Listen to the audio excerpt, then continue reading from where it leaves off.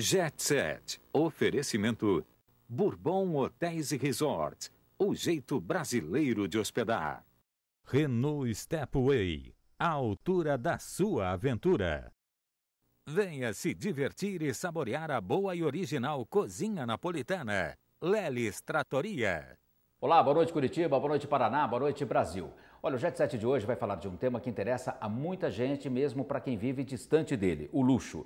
No programa de hoje vocês vão conhecer um pouco do Hotel Príncipe de Savoia, de Milão, e acompanhar o badalado lançamento do livro Entre Taças de Champanhe e Cálices de Vinho, da especialista em mercado de luxo, Manu Berger. CEO do site Terapia do Luxo Business e Magazine, Manu esteve em Curitiba nesta semana para lançar o seu livro, que aborda o mercado de luxo na Itália e na França. Confiram.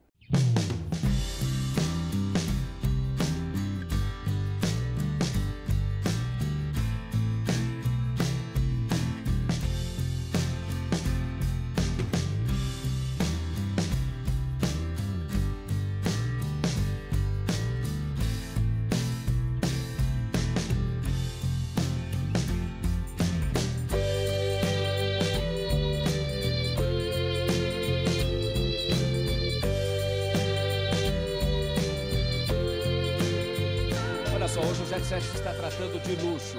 E eu estou aqui com a Manu Berger, que está lançando aqui na Animare do Pátio Batel o seu livro Entre Taças de Champanhe e Cálices de Vinho.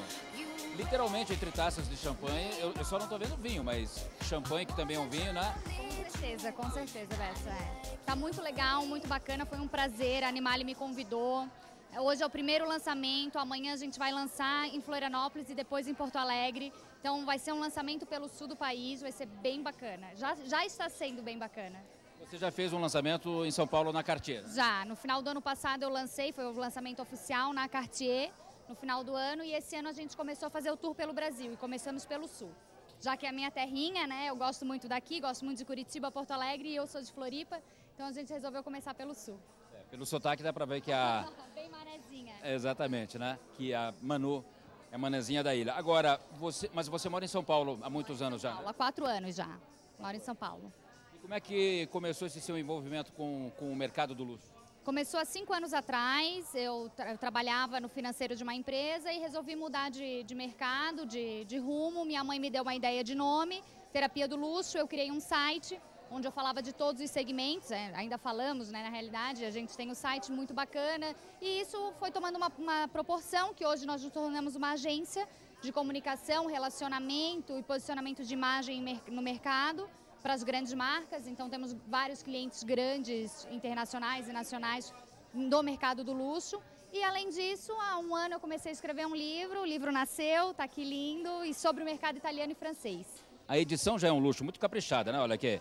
Né? As páginas têm aqui um fio dourado, né? É, a lateral é dourada, a capa é dura, ilustração de capa é toda exclusiva, foi feito por uma ilustradora de Florianópolis. E aqui na capa nós temos a famosa Catedral do Omo de Milão e o Arco do Triunfo de Paris, porque o livro fala basicamente do luxo na França e na Itália. Né? Isso, eu faço um paralelo esses, entre esses dois lugares, entre a Itália e a França. Tive a oportunidade de estudar nos dois lugares e foi fantástico e são consideradas hoje cidades ícones, quando se fala, se pensa em luxo, em grandes grifes. Né? É, é verdade. E acho que, que tem todo o potencial mesmo, e lá é o berço. Eu, eu cito bastante no livro que a Itália tem o DNA, enquanto a França sobre fazer o business do negócio. E acho que vale a pena ler, é muito bacana. Mas hoje você também atua no mercado do luxo profissionalmente, né? Você não é só uma observadora. Não, não. Hoje o Terapia do Luxo é um site de informações, onde a gente fala de todos os segmentos e, além disso, nós somos uma empresa de 360 graus, então uma assessoria que atende as marcas de luxo em posicionamento de marca, assessoria de imprensa, treinamento, cursos, tudo isso relacionado ao mercado do luxo. Você presta então consultoria e assessoria para grandes marcas? Isso, isso mesmo. Agora, mano, o livro basicamente é, é, é um guia de luxo, ele faz uma análise do mercado. Qual é a linha do livro? É, na realidade, ele faz uma análise do mercado. Ele fala um pouco das duas cidades, tanto de conceitos, de experiências, de, de empreendedorismo de cada lugar. E no final do livro eu também conto um pouco da minha experiência nesses cinco anos trabalhando no mercado. Então, algumas oportunidades que eu tive, como conhecer a fábrica da Gucci, eu conheci também uma, um ateliê super pequenininho no interior da Itália, coisa mais linda que fazia as camélias da Chanel. Então tive a oportunidade de estar com eles. Eu conto um pouquinho disso também no livro. Quer dizer, você desvenda, então, podemos dizer assim, o luxo para aquelas pessoas que que o consomem. Isso, isso. É... Muitas vezes a pessoa compra uma roupa, um relógio, um cinto, um sapato, enfim, uma, uma, uma clutch, mas, mas não sabe a história que tem por trás daquele produto. Exato, exato. Então eu também tenho um, é, dois capítulos que a gente fala de luxo italiano e luxo francês, é, das marcas italianas e das marcas francesas, então é bem bacana. É um pouco resumido, né? Mas daí o livro ia ser muito grande, ia dar muito trabalho, já que a produção foi toda própria. Mas a gente fez, é, fez pequenininho, então eu compilei um pouco das histórias. Toda história tem a sua foto. A foto da, da marca é relacionada a algum sentimento meu em relação à marca, então não é uma foto, por exemplo, vou dar o um exemplo da Cartier, que é a primeira do livro. A Cartier está ali e uma foto é de um, de um livro que eu ganhei do CEO da Cartier no Brasil, então é, um, é o meu relacionamento com a marca, não necessariamente o ícone né, da, da marca. E você sempre foi uma consumidora de luxo? Sempre fui uma consumidora de luxo. E o que, que faz a pessoa consumir luxo entre tantas opções de produtos no mercado, muitas vezes similares e mais baratos? Ah, eu acho que cada pessoa tem, tem o seu desejo, tem a, a sua vontade, né? Mas acho que o luxo ele consegue transcender a isso. Né? Ele, ele faz realmente gerar desejo, ele cria umas experiências intangíveis que isso tudo nos leva a consumir.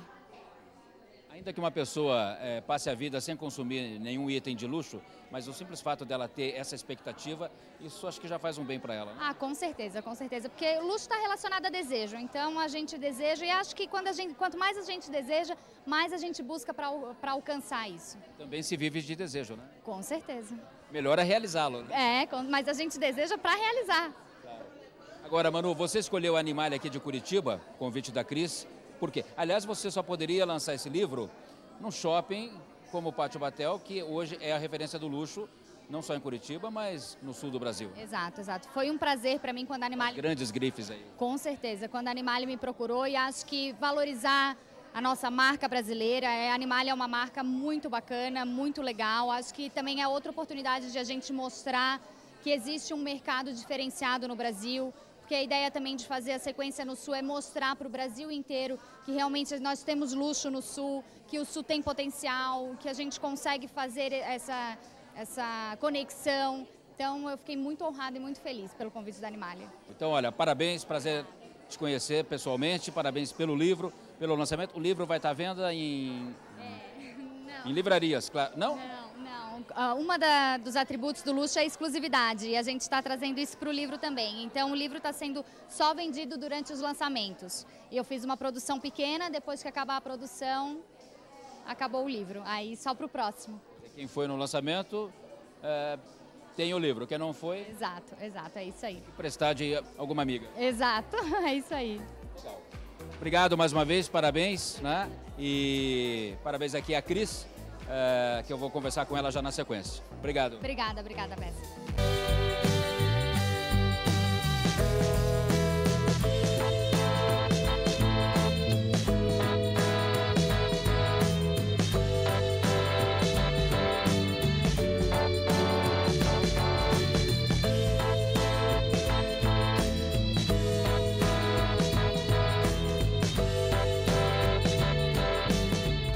Aqui com a Cris Play, que é a gerente de relacionamento da Animale, onde está acontecendo o lançamento, aliás, bastante animado, do livro Entre Taças de Champanhe e Cálices de Vinho, da Manu Berger, que escolheu hoje aqui a Animale do Pátio Batel para o lançamento do seu livro que fala de luxo, do mercado de luxo. E nada melhor do que um endereço de luxo, né, para fazer esse lançamento, né, Cris? Ah, com certeza. Com muitas mulheres bem vestidas também. Ah, é, a gente tentou juntar as duas coisas. É, a Manu é uma pessoa muito especial, acho que hoje no mercado de luxo a nível Brasil.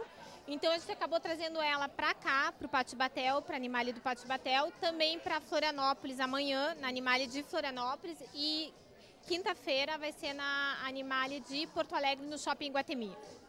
Mas vocês são amigas já, né? Há muito tempo já somos amigas há muito tempo. Conheci a Manu num curso que eu fui fazer em Paris, daí conheci ela nesse curso e a gente ficou super amigas. voltou para Paris, voltamos para Paris outra vez juntas. E aí foi indo amizade, em outras viagens, enfim. E daí que a gente teve essa ideia. E ela sempre me falava desse livro: vou, fazer, vou escrever um livro, vou escrever um livro. Daí quando ela me falou, Cris, terminei o livro. Eu falei: vamos lançar na Animale, vamos lançar porque eu acho que tem tudo a ver. Uma marca de luxo acessível, então acho que tem tudo a ver. A Animale, né, é, pertence a uma empresária brasileira, carioca, né, a Cláudia Jataí, que é mulher do, do Fabrício Giuliodori, aqui dono do Alessandro, do Alessandro Frederico. Né? É, na verdade, Animale são três irmãos é a Gisela, o Roberto e a Cláudia Jataí, né? Hoje, esse ano a, a empresa é, faz, fez 25 anos no ano passado, na verdade. E a gente tem o grupo Soma hoje, que tem a eBrand, Animale, Farm, FAI, Cris Barros, Alessandro e Federico, Fábula, já é um grupo bem grande. Mas só de lojas uh, de, de roupas femininas são dezenas e dezenas. São. Animale hoje são mais de 80 animales, fora os pontos de multimarcas, né? Em todo o Brasil, né? Em todo o Brasil. A gente tem aqui no Pátio Batel, tem no Shopping Miller e tem no Barigui também. E você também é, faz, você tem a mesma função aqui e na A-Brand, né? Isso, na A-Brand, aqui em Curitiba a gente só tem no Pátio Batel, mas no total no Brasil são 12 lojas da A-Brand, que é uma marca mais nova do grupo. Mas qual é a diferença da e-brand e, e, da Animale? Elas são duas marcas hoje muito diferentes, com estilos diferentes, é, produção de estilo completamente diferentes. Mas a gente tem clientes que compram tanto aqui quanto lá. Elas compram nas duas marcas. Você está vestindo o que hoje? Estou vestida toda de Animale. Animale. Animale. É uma da coleção nova, que a gente tem o tema Itália. Então, hoje estou toda de Animale. Quando eu estou na e-brand, estou toda de e-brand. Já é a coleção nova, então, que foi lançada aqui há pouco tempo, né? Foi lançada no final de janeiro, a gente lançou a coleção da Itália. Super, é uma coleção super bacana, muito básica, as cores estão bem bonitas. Eu, eu, é, uma, é uma coleção muito legal. E como é que a curitibana, né, que a gente sabe, claro, que não é só a curitibana que frequenta aqui o Pátio Batel, né, tem muitas mulheres de aqui próximas, né, de estados próximos, do interior também do Paraná, mas mas, enfim, como é que a Curitibana é, é, vê hoje as, as marcas de luxo nacional? Olha, a gente tem uma equipe, assim, na verdade, a gente tem muita cliente fidelizada há muitos anos que só usa Animale. Então, assim, não tem nem o que, sabe, toda a coleção elas estão aqui, elas acostumaram muito com a modelagem. É uma marca que surpreende a cada, a cada coleção. Eu falo assim que a gente se supera um pouco, então ela, ela surpreende realmente. Então, sempre estão em loja. Aliás, a gente tem cliente que toda semana está em loja. Como a gente, a gente recebe mercadoria toda semana, a gente tem cliente toda semana em loja. É muito bacana. As roupas da Animales são fabricadas no Brasil, são confecção própria? A maioria no Brasil, confecção própria todas. Uhum. A gente tem uma rede de estilo, tem uma equipe de estilo, é, malha, couro, enfim, tudo. É tudo feito no Brasil praticamente hoje. Olha, e você está no livro aqui, né? Parece. É, eu tenho algumas fotos que eu tirei da Manu nas nossas viagens, tem alguns comentários, enfim, alguma coisinha tem aí.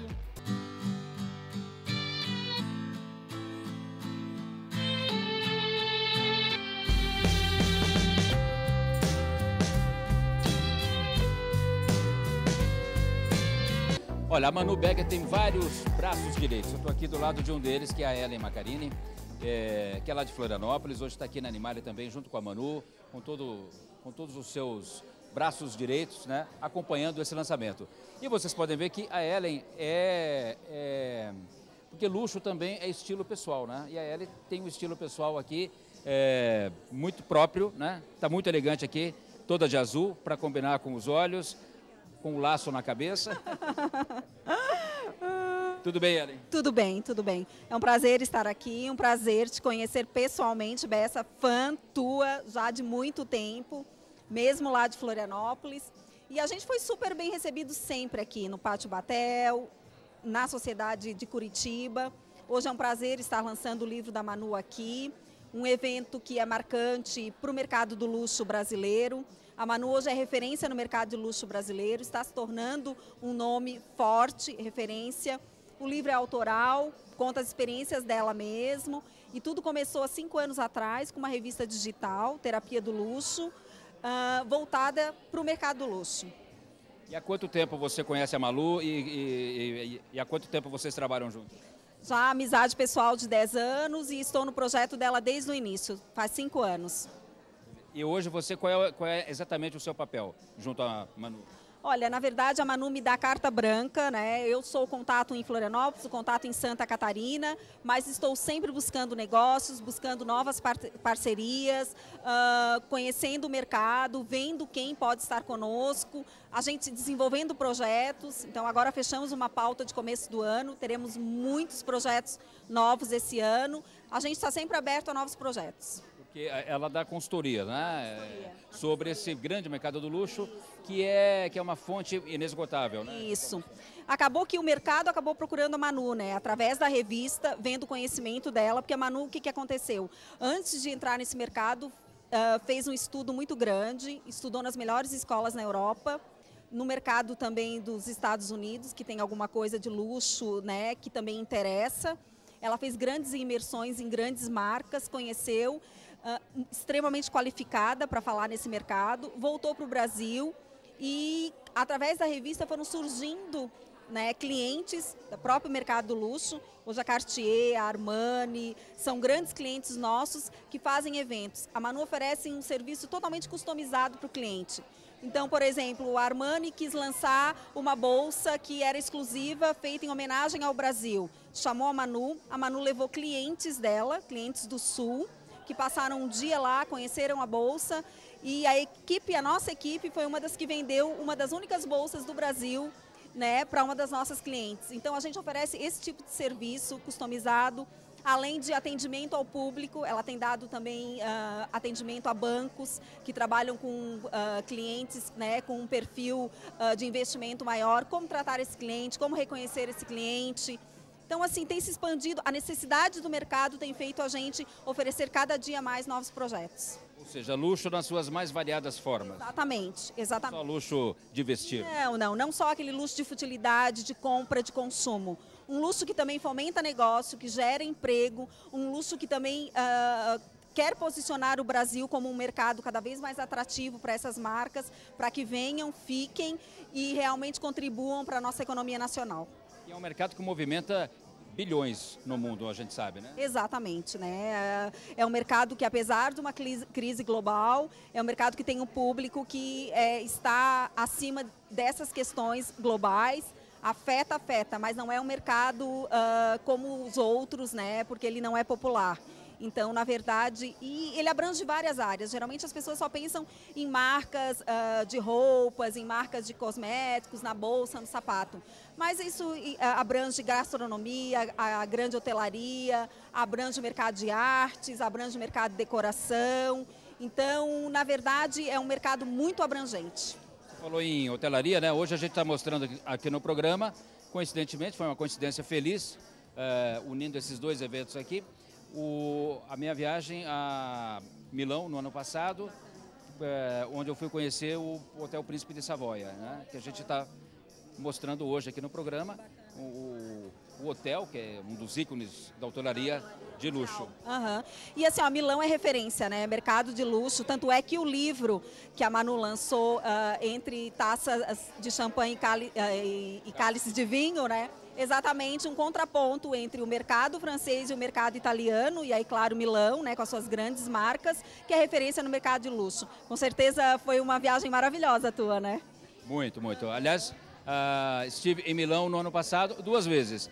No primeiro semestre para o Salão do Móvel de Milão, pela Gazeta do Povo e no segundo semestre para conhecer o Príncipe de Savoia. Dois eventos maravilhosos, né? Tanto que são referências mundiais, né? Dois eventos, dois eventos voltados para o luxo. Para o luxo mesmo, luxo mesmo. Ellen, muito obrigado, parabéns mais uma vez aqui a vocês, a toda a equipe da Manu, né, pelo lançamento do livro entre taças de champanhe e cálices de vinho. É, sobre o mercado do luxo, sobre as grandes marcas de luxo, muitas delas presentes aqui hoje em Curitiba, no Pátio Batel. Pátio Batel, uma maravilha, porque na verdade trouxe para o Sul algo que precisava para o público do Sul e a gente quer mais é que realmente dê certo e quer apoiar. Mulheres de Floripa, vem para cá? Vem para cá, vem para cá, sim, vem para cá. Apoiam muito, apoiam e a gente é muito bem atendido.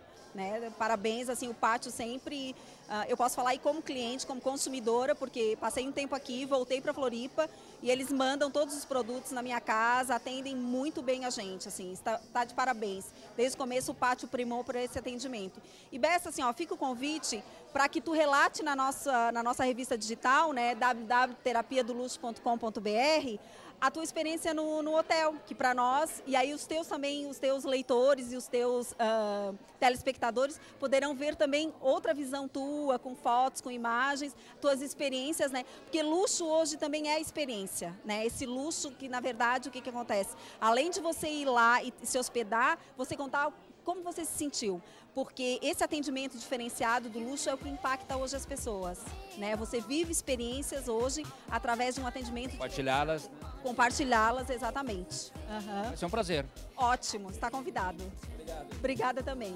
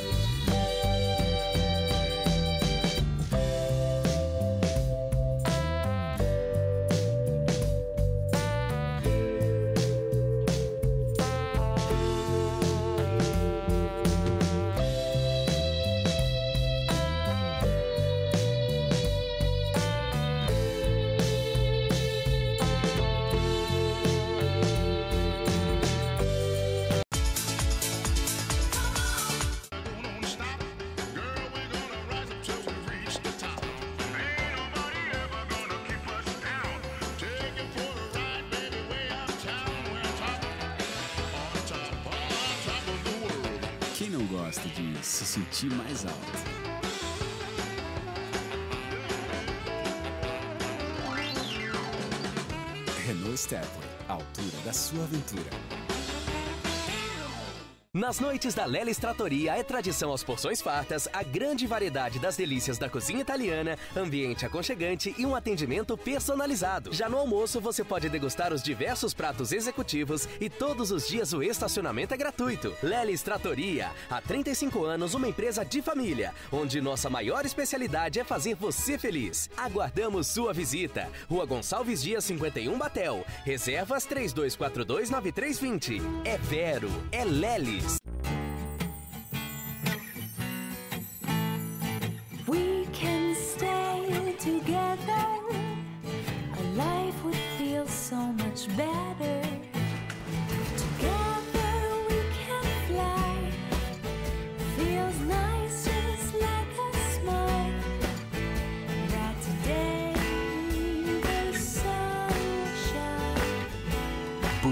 Atibaia. A sua diversão em família.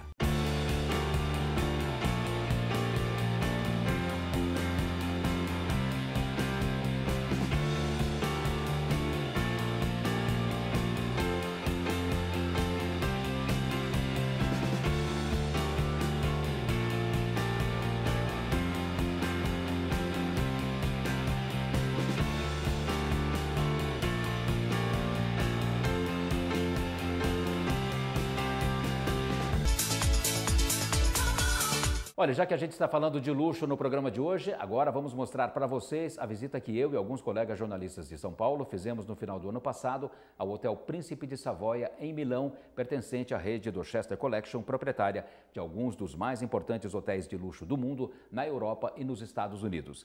A viagem a Milão incluiu um passeio à cidade de Alba, no Piemonte, para uma manhã de caça às trufas brancas. Os vídeos foram gravados por mim mesmo com o meu celular e são apenas um aperitivo do que espera por aqueles que têm o privilégio de passar alguns dias neste fantástico hotel. Confiram.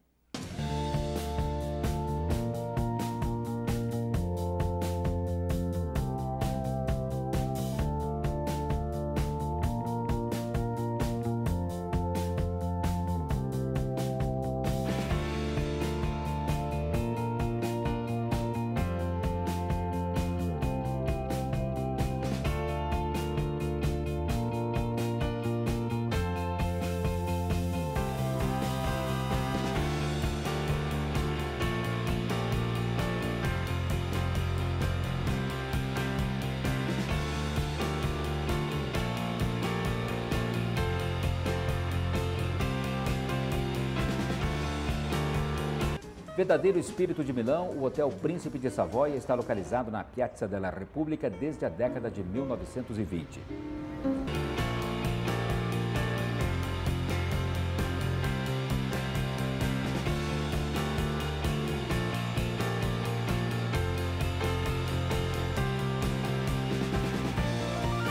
O edifício neoclássico possui 301 acomodações de alto padrão, 257 quartos e 44 suítes.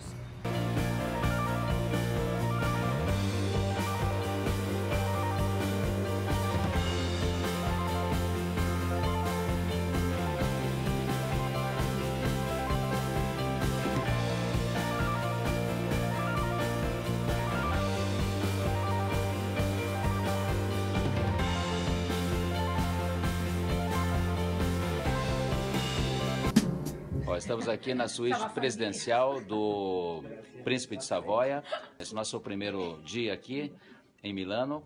E agora eh, estamos sendo recebidos pela Francesca, eh, nosso grupo aqui. Olá. E vamos fazer um brinde com champanhe, naturalmente. Saúde. Salute. Salute. Salute. Salute. Salute. Na suíte presidencial, onde ficou hospedado uh, entre tantos outros, George Clooney. Cheers. Cada quarto foi concebido com um cuidado meticuloso e atenção aos mínimos detalhes. Dos quartos sofisticados às exclusivas suítes, as acomodações oferecem um sabor incomparável do luxo milanês.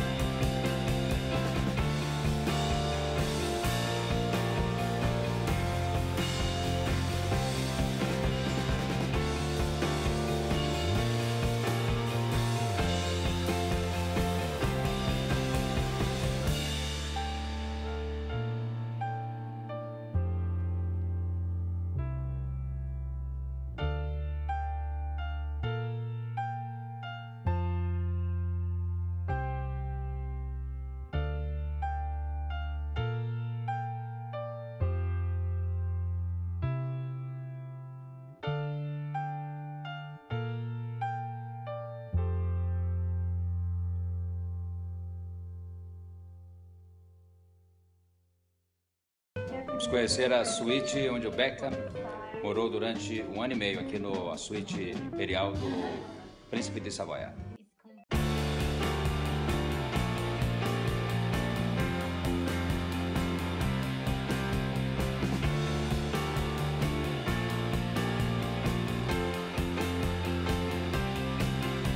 Entre estrelas internacionais e monarcas, a suíte presidencial é a pérola dos hotéis italianos, com três suntuosos quartos, sala de estar, vistas espetaculares, uma piscina privativa e decoração requintada.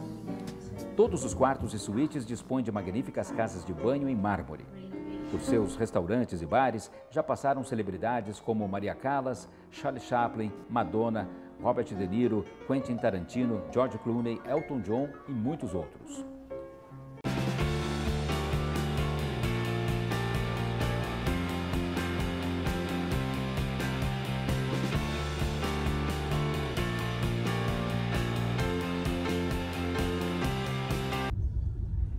Localização central do Príncipe de Savoia é perfeita para os visitantes que desejam descobrir as adoráveis atrações de Milão. E você pode fazer este passeio confortavelmente a bordo de uma limusine, passando pelas lojas de grandes grifes do centro da cidade, o Teatro Scala, a Catedral do Omo e a famosa Galeria Vittorio Emanuele.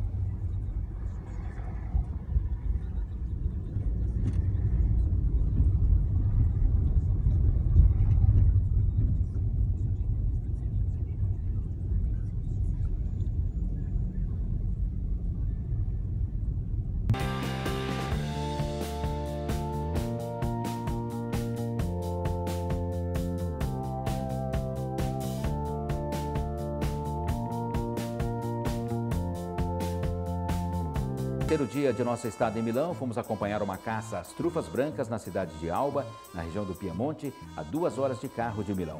Uma experiência fantástica. Acompanhe.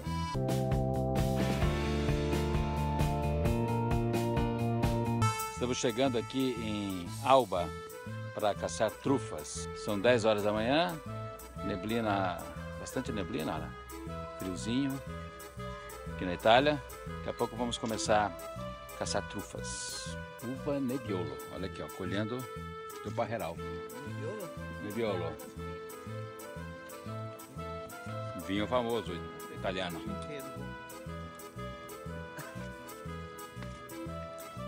Antes de caçar as trufas, comer umas uvas. Olha só. Parece cenário de filme, ó. Estamos chegando aqui, indo, indo ao encontro das trufas, do Catufo Bianco. Nossos convidados aqui do Hotel Príncipe de Savoia.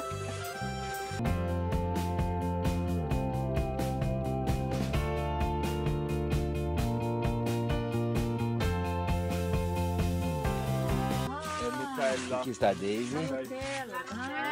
A Daisy.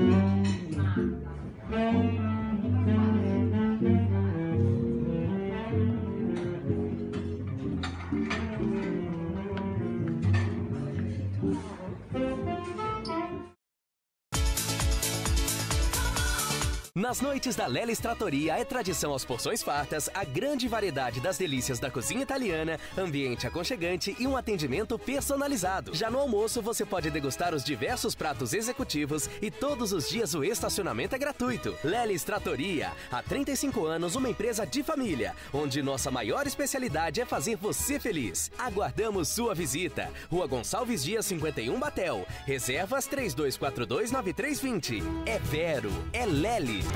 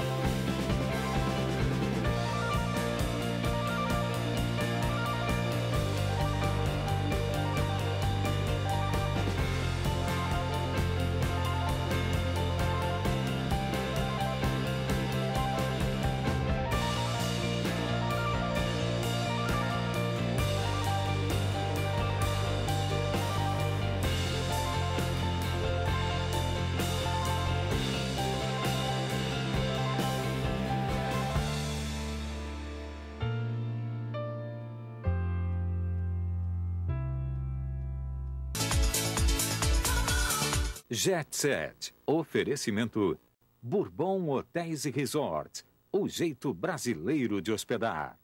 Renault Stepway. A altura da sua aventura. Venha se divertir e saborear a boa e original cozinha napolitana. Lelis Trattoria. Vem aí a 26ª edição do Festival de Teatro de Curitiba, que começa no próximo dia 28 e vai até 9 de abril, movimentando toda a cidade. Nesta sexta-feira, eu conversei com o diretor-geral do festival, Leandro Knofels, que adiantou para o Jet Set as principais atrações do evento. Confiram.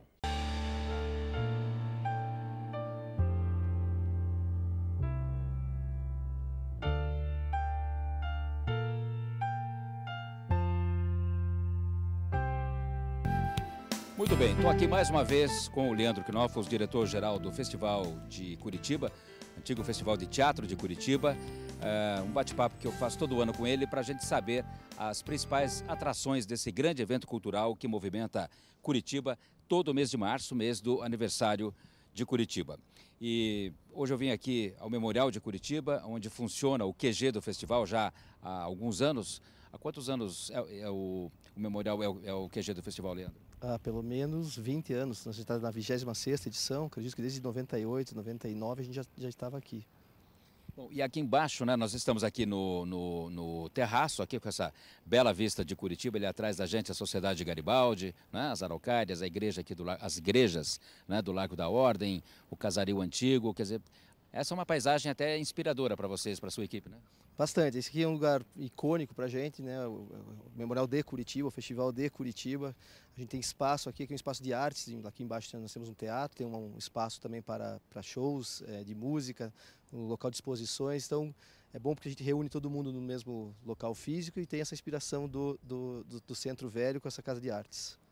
Legal. E, aliás, ali embaixo tem uma equipe grande, né? Que trabalha toda dividida é, por setores? Né? Setores. Né? A gente a gente tem uma empresa chamada Parnax, que trabalha com 15 pessoas durante o ano, mas durante o festival a gente chega a 600 pessoas porque são 80 espaços diferentes na cidade, são 2 mil artistas, são 200 mil pessoas no público, e para atender toda essa demanda de, de, gente, estrutura, logística, a gente precisa também de pessoas. Então aqui a gente vai, a gente veio também para, espaço, para esse local por causa do espaço físico maior, onde a gente consegue reunir todo mundo, como você falou, por setores, e cada um cumprindo ali a sua, a sua função, pessoal da logística, pessoal da produção, pessoal da comunicação, pessoal que faz o relacionamento com os patrocinadores, assim a gente monta o evento. Porque o festival é, um, é uma empreitada muito grande, né? Embora ele seja, ele, ele dure aí mais ou menos duas semanas, mas vocês têm que administrar aí quantas companhias de teatro, grupos, espaços né, de apresentação, acomodação, uhum. é, onde esse pessoal vai comer. É? é, o festival monta um restaurante para atender todas as pessoas. Como eu disse, são dois mil artistas diferentes são mais de mil diárias de, de hotel, são 40 vans que, que, que, ficam circulando pela cidade. O evento realmente acontece para o público durante duas semanas, um pouquinho antes, quando a gente começa a vender os ingressos, umas cinco semanas antes, mas para nós, para quem organiza o festival, são 10 meses do ano. É, vai acabar agora em abril, a gente vai dar dois meses de, a gente vai fazer uma avaliação do que passou e já em, em, junho a gente volta a trabalhar na edição 2018. É uma coisa que, que, que as pessoas às vezes não veem, né? como um iceberg, só vem a ponta, que é a, a, as apresentações, mas que demanda realmente bastante organização, bastante contatos constantes com, com o que está acontecendo, uma, uma relação permanente com patrocinadores, para a gente entender é, que tamanho a gente pode oferecer o evento, o que a gente pode trazer para a cidade, tentando sempre, claro, trazer o que tem de mais novo, o que é tendência, para fazer com que, a, que Curitiba seja sempre essa, essa vanguarda das artes cênicas no Brasil. Leandro, a, a, festa de abertura do festival esse ano, né, o coquetel em que você recebe os patrocinadores, os convidados e tudo mais, é, esse ano vai ser num lugar emblemático, né? Vai ser no... Eu quero que você mesmo fale. Pois é, é, o festival abre esse ano com a gente tem a honra de receber a Fernanda Montenegro é, com o espetáculo do Nelson Rodrigues. A Fernanda que está com 87 anos, participou da segunda edição do Festival de Teatro de Curitiba com o espetáculo The Flash and Crash Days e nunca mais tinha vindo como com, com apresentações. Então a gente tem a honra de receber esse espetáculo e na sequência, quem estiver lá na, na, no evento de abertura vai estar ser convidado a subir ao palco, onde vai receber então para esse, esse coquetel, para essa confraternização. No palco do Guairão. No palco do Guairão, a gente vai transformar o palco numa, num local para receber né, a estrutura, com bar, com música, com luz, com, com tudo que uma festa tem que ter. É, mas como você falou, num lugar muito emblemático. Para a gente, Teatro Guaíra é uma sala, é, para a gente não, para todo mundo, é a sala mais importante da cidade, do estado, talvez a mais importante do Brasil, pela sua, pela sua, pela seu, sua tradição, pelo seu tamanho, pela sua história.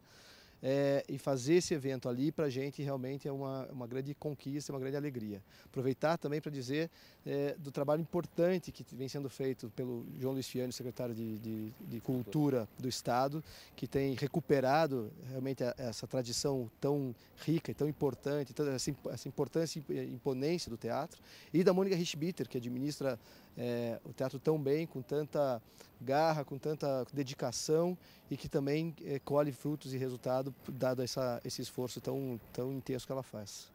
Bom, e lá também é, vão acontecer algumas apresentações. Né? Sim, é, o festival normalmente trabalha com algumas salas maiores, como Ópera de Arame e Teatro Positivo. Nesse ano a gente concentrou toda a programação de, de espetáculos que demandam mais é, questões técnicas. Por que são salas maiores? Porque demandam questões técnicas e o cenário mais robusto, que sobe, que desce, projeções, som, luz, claro, atores mais conhecidos, o que também demanda mais público, nós estamos concentrando todos ali no Teatro Guaíra. Então a gente vai ter a Fernanda Montenegro abrindo, logo em seguida a Fernanda Torres. Então também uma, um orgulho para a gente conseguir trazer mãe e filha na mesma edição. Dessa vez com espetáculos diferentes. Elas estiveram no Flash and Crash Days com o mesmo espetáculo. Sabe? O Gerald Thomas, né? Direção do Gerald Thomas. Agora elas estão em, em, apresentações separadas, mas na mesma edição, o que para elas, segundo chegou para nós, também é uma coisa muito importante. Então, a gente fica honrado delas terem isso como importante para elas também. O Luiz Miranda, um ator bastante conhecido de comédias, é, faz apresentação lá. O musical do Rock Santeiro, que está muito falado em São Paulo, ganhou muitos prêmios e que eu acho que pelo apelo que tem, já ter, já ter sido transformado em, em teledramaturgia, vai, vai trazer muita gente. Aliás, no festival desse ano tem dois musicais, né? O Rock Santeiro e o da Martinalha, né? É, a gente tem shows musicais, a gente traz a Martinalha, a gente traz a Gabi Amarantos, que são espetáculos que beiram o teatro, mas também com, com muita música. O pessoal da curadoria trouxe isso porque achava que eram shows bastante teatrais. E tem um musical na, na, na, na acepção maior da, do, do, termo e da, da, linguagem, que é as pessoas falando, cantando, mas contando uma história específica. E ainda no, no Teatro Guaíra a gente tem o Marcelo Médici voltando com, com o espetáculo que transformou que fez eh, ele famoso, que é cada um com seus problemas. Ele, tava, ele tem problema um, mesmo, problema né? mesmo. Ele tem cada um com seus problemas dois, ele volta com cada um com seus problemas um, reestreando em Curitiba. Você falou né, em nomes conhecidos aí das artes cênicas brasileiras, TV, teatro e tudo mais. Tem, tem, tem muita gente, né? Tem Marcelo Serrado, tem só de mulheres, tem um time grande, né? Além da das duas Fernandas, mãe e filha, tem Júlia Lemertz, Camila Pitanga, Débora Bloch, Sim. André Beltrão. Denise Stoklos, né? Importante. Nossa grande mímica, Denise Stoklos. Exatamente. É, o, o, a curadoria passa um pouco por isso. Eles, eles procuraram o tema o empoderamento feminino, né? a questão do gênero que está tão falada, tão forte. A gente quer trazer é, espetáculos que, que, que, que, conversem com esse tema que está sendo tão debatido hoje em dia pela sociedade brasileira.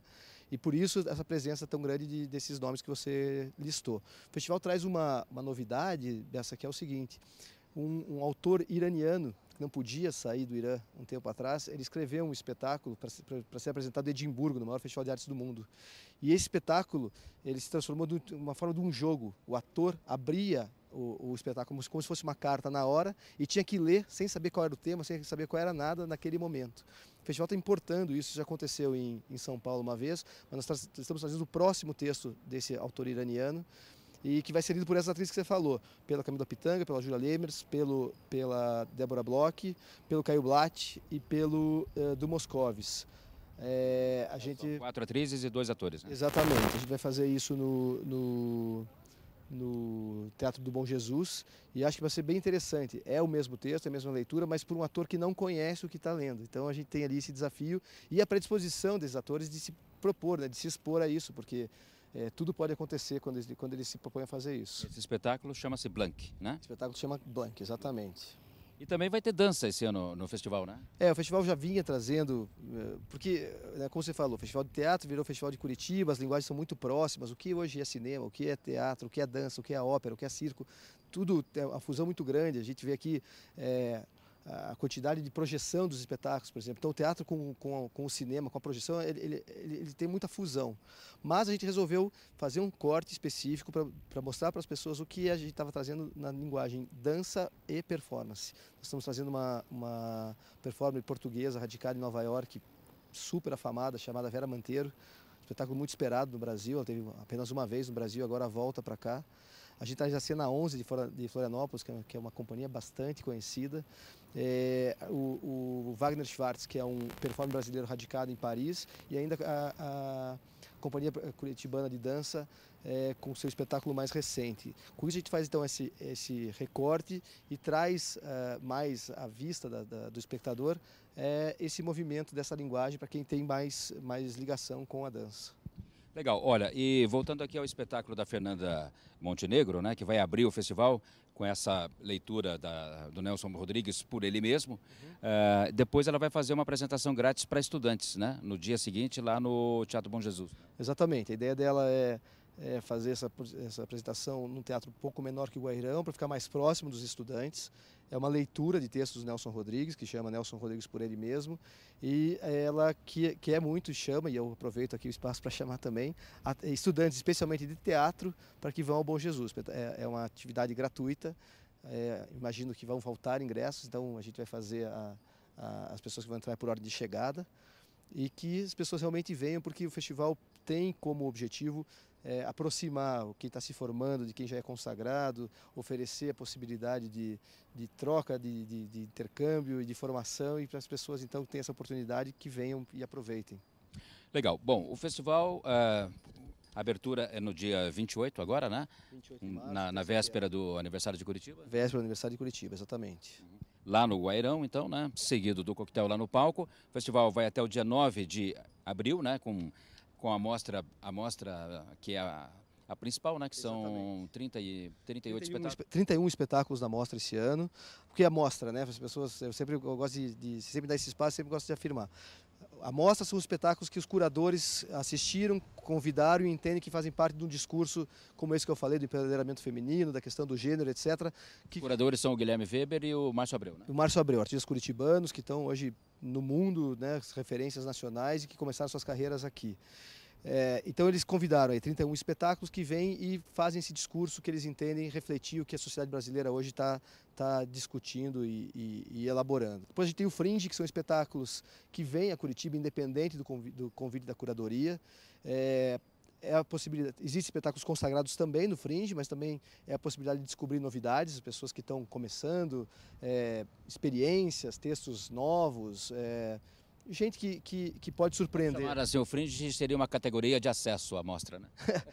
Pode, pode ser. uma linguagem do futebol. É, pode ser isso, mas também é, é, é às vezes as pessoas ficam, ficam achando que, que é menor, mas não, é, é, o, o, convite não veio para a amostra, às vezes, porque, primeiro, a gente tem uma limitação, tanto de espaço como orçamentária. E segundo, às vezes o espetáculo não, não conversa com o que a, com o que a curadoria está propondo. Não por isso o espetáculo é menor. Né? simplesmente não coube naquele momento ali. Então, o Fringe é uma oportunidade de, de conhecer o que não foi, talvez, filtrado, que não foi convidado. E o festival se complementa com as atividades que também já são tradicionais, que são o Gastronomix, que traz aí os chefes do Brasil inteiro e os restaurantes da cidade. E é lá no Museu Oscar Niemeyer? Museu Oscar Niemeyer, dias 8 e 9 de abril. O Risorama, grande festival de, de stand-up e, e, comédia do Brasil, diria. Comandado pelo Diogo Portugal, né? Comandado pelo Diogo Portugal, com uma mudança esse ano. A gente sempre teve um, um mestre de cerimônias, já foi a, a, a Nani People, já foi a Dani Calabresa, já foi o Márcio Balas. Esse ano nós, nós mudamos, cada noite tem um, um, mestre de cerimônias. Então a gente vai ter o Danilo Gentili, a gente vai ter o Sérgio Malandro, a gente vai ter nomes conhecidos, o pessoal do Pânico, tem um, um, nome que a gente não pode divulgar até o dia 21 de março por causa da. da a gente está gravando antes do dia 21, portanto dizer, né? Por causa de questões contratuais, então eu não posso falar. Então cada noite vai ser diferente e acredito muito divertida. A gente também tem o Mishmash, que é a nossa atividade para a família toda, são variedades, malabarismo, hipnose, ilusionismo, é, habilidades em geral, percussão, palhaço. Eu, eu sou realmente, é, meu evento xodó, eu gosto muito do, do Mishmash e sempre convido e forço que as pessoas vão.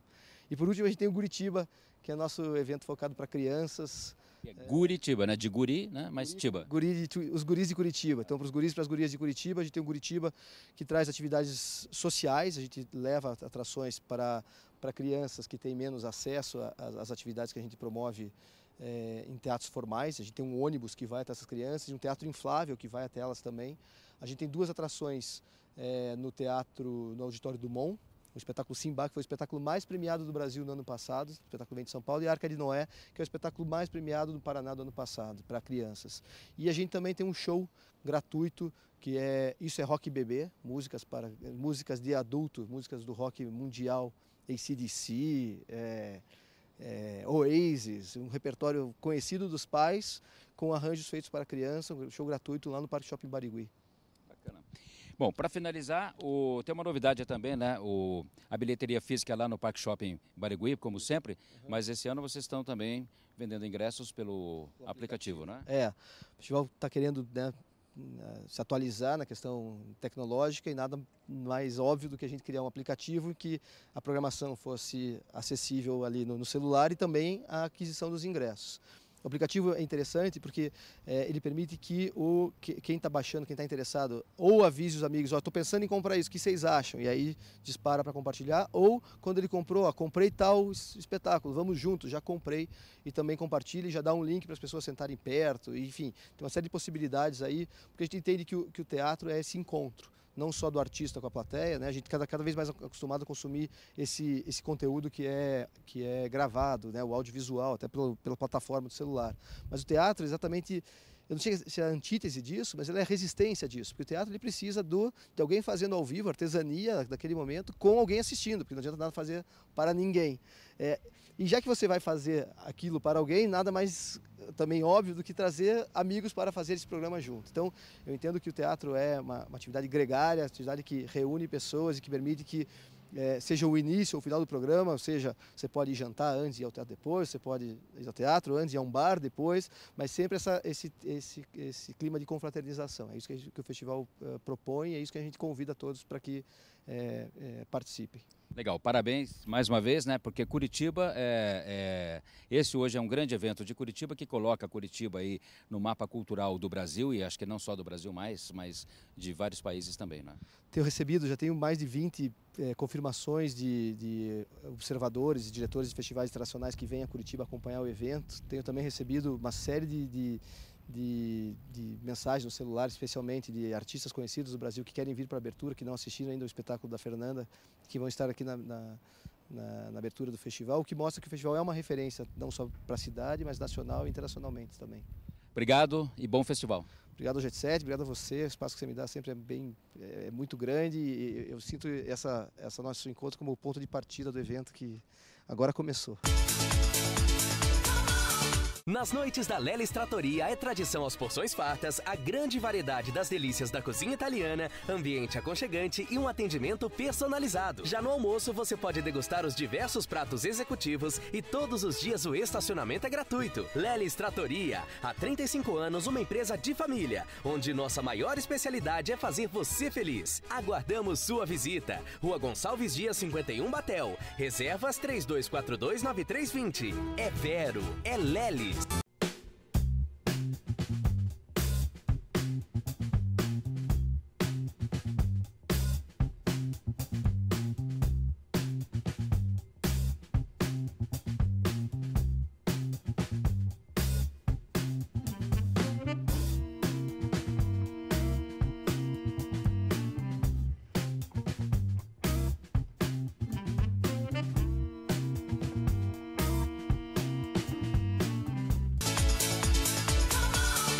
o Jet Set de hoje fica por aqui. A gente volta no próximo sábado com outros eventos, entre eles o lançamento dos edifícios Maison 29 e Rio Rony Residence, parceria do Grupo Tá e do empresário Geninho Tomé.